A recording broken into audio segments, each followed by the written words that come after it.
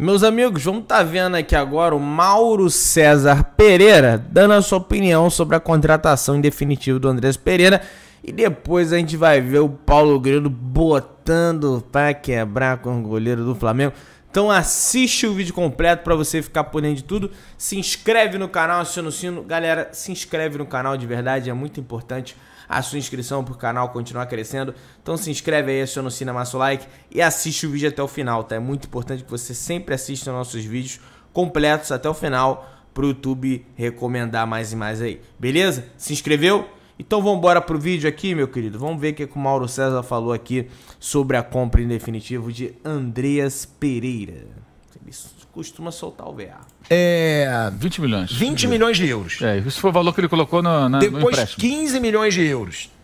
Agora parece que o Flamengo vai conseguir a compra por 50 milhões de reais, que é muito menos do que o United pediu. Foi até uma, uma malandragem da diretoria do Flamengo esperar fechar essa janela é, europeia, porque assim ele não tem mais proposta, perde o valor e o Flamengo consegue pagar o que ele queria desde o começo. É, a estratégia deles era esperar fechar a janela, não só para esse caso específico, mas até para não ter disputa com outros jogadores que tentem contratar lá fora. Porque agora eles não podem contratar mais entre eles. E isso tem uma contraindicação, que é você chegar no clube, não é o caso do Andrés, que já está emprestado. Chega e falar, me empresta esse jogador aqui. Está na reserva, não está jogando, é, eu quero levar lá para o Brasil. Não, poderia até liberar, mas se eu libero esse cara, não consigo contratar outro. O titular se machuca, eu coloco quem para jogar. Então você pode também ter esse tipo de dificuldade. É... Eles marcaram a reunião. Eu não sei se vai ser tão simples assim. A reunião foi marcada lá com os ingleses. É, antes eles nem deram resposta, porque estavam mais preocupados com a vida deles lá na janela europeia. A janela fechou na segunda-feira, aí agora marcaram a reunião. Por isso que eles viajaram ontem, né? Vieram para São Paulo e viajaram ontem, partindo daqui. O Bruno Spinner, que é o diretor executivo, e o Marcos Braz, que é o vice-futebol. Hoje eles têm reunião com os ingleses, talvez até já esteja acontecendo, não sei o horário exato desse encontro. É, o Flamengo vai tentar comprar o jogador e o Manchester deve falar, tá bom, venda por menos e você me dá um percentual X numa venda futura. Ele tem 25, 26 anos, pode ser um dia negociado, porque é um jogador que foi revelado na base. E aí tem todas as questões, né? eles não podem mais emprestar jogador, tem as regras de fair play financeiro, então pode ser interessante para eles também. O, o, valor inicial que eu coloco é aquele valor para proteger, 20 milhões de euros. Mas não vai ser esse valor, claro, não tem nem cabimento acho que comprar por esse valor. Eu acho que é uma oportunidade que compra o jogador em baixa, né? É a única vantagem que o Flamengo pode ter pela lambança que o senhor André Ferreira, eh, Pereira fez na, na, final da Libertadores, né?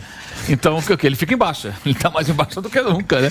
E tem torcedor do Flamengo que não quer, que não quer de jeito nenhum. Tem, estaria valendo muito mais. Tudo. A torcida do Flamengo é muito dividida, é né, dividida. com relação ao André. É, é uma pena, ele tá jogando demais. É, eu, Mesmo é naquele isso. jogo, mas tem eu acho que Eu acho o seguinte, é, é, são duas coisas distintas. Uma, tentaram vitimizar o jogador depois uma pena, Mauro Betti. Tu é palmeirense, Mauro Betti. Coisa aquilo, não tem que vitimizar. Ele foi o vilão, ele errou. Errou. Errou, acabou. Não tem ah, coitadinho, coitadinho nada. Coitado do cara que ficou de busão lá, saiu não sei de onde, foi até o Uruguai para ver o jogo e voltou com a derrota. Porque o cara perdeu uma bola dominada na frente da, da, da defesa. Então ele foi o vilão.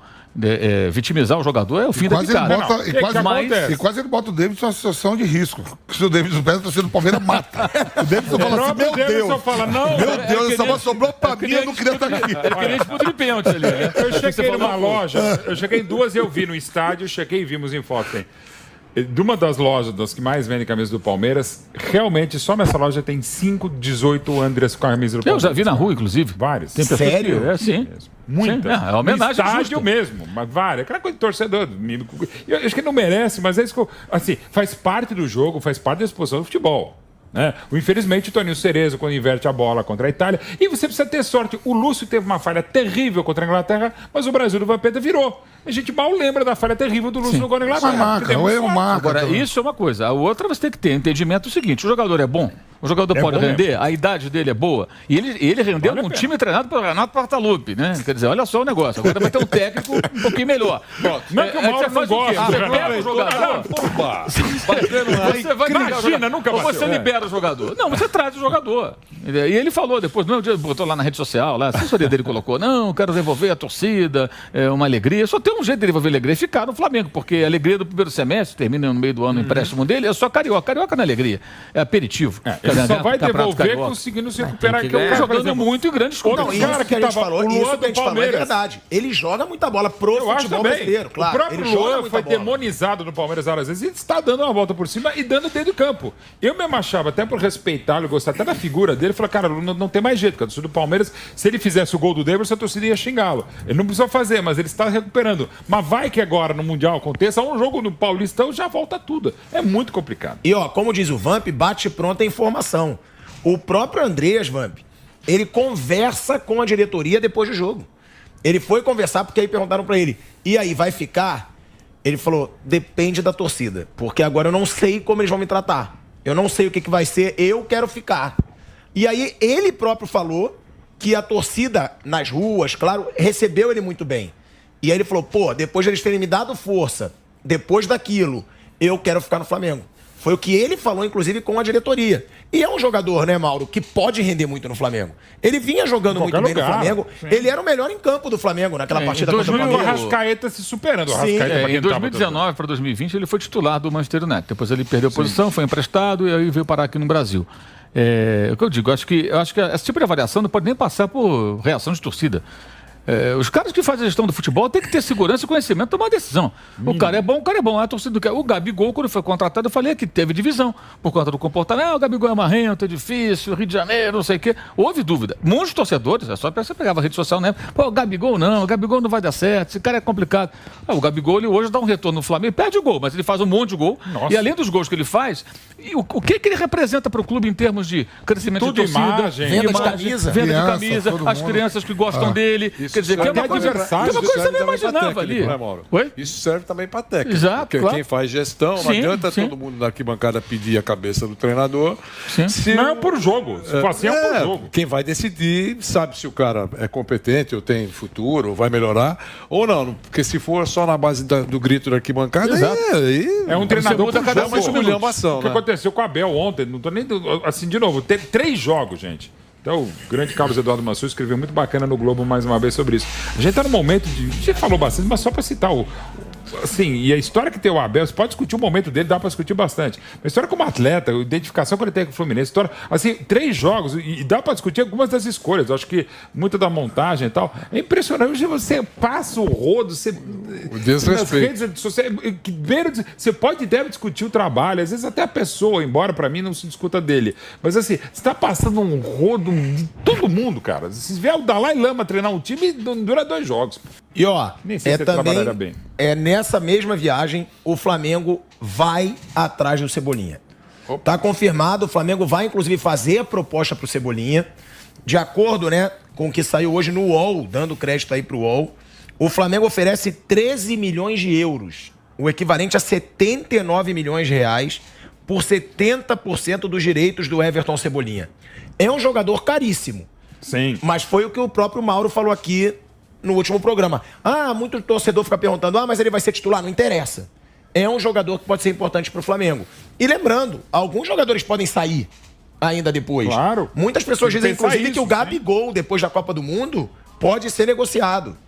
Então, já seria uma contratação pensando nisso, pensando claro. a longo prazo. É um investimento muito caro ou é um investimento que vale a pena? É uma maravilha, né? Eu acho caro. Aqui você colocou em cima da mesa sobre o Marinho. 13 milhões de euros. O Marinho, 13 milhões o, o Marinho foi contratado, o Paulo Souza soltou rojões, porque é um cara que ele olha pro banco e não chora. Cebolinha, vem pro. É, gente, mais ou menos aí eles já, já comentaram aí, né, a situação do.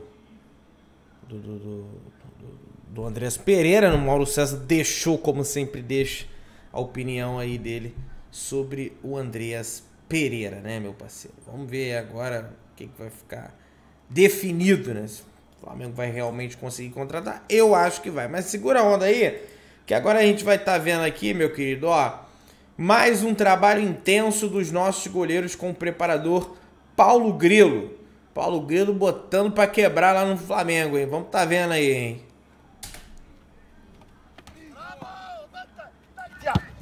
Bravo! Porradão, filho. Bravo! Uma. Isso.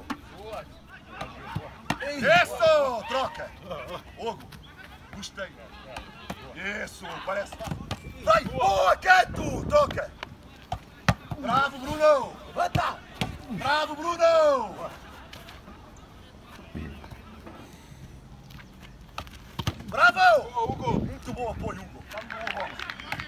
Bravo! Não vais, não vais. Isso! Você não gosta. Anda! Anda! Levanta! Levanta! Tá, Thiago! Bora! Bravo, vai! Até eu tô me mexendo aqui, cara. Bravo! Bravo! Bravo! Toma lá! Aqui, agarra! Outra, outra. Bravo! Não, Bravo! Boa. Cadê o combinado? Ó, vou explicar. Você tá no piroca?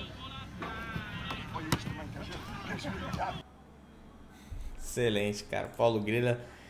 Brabo!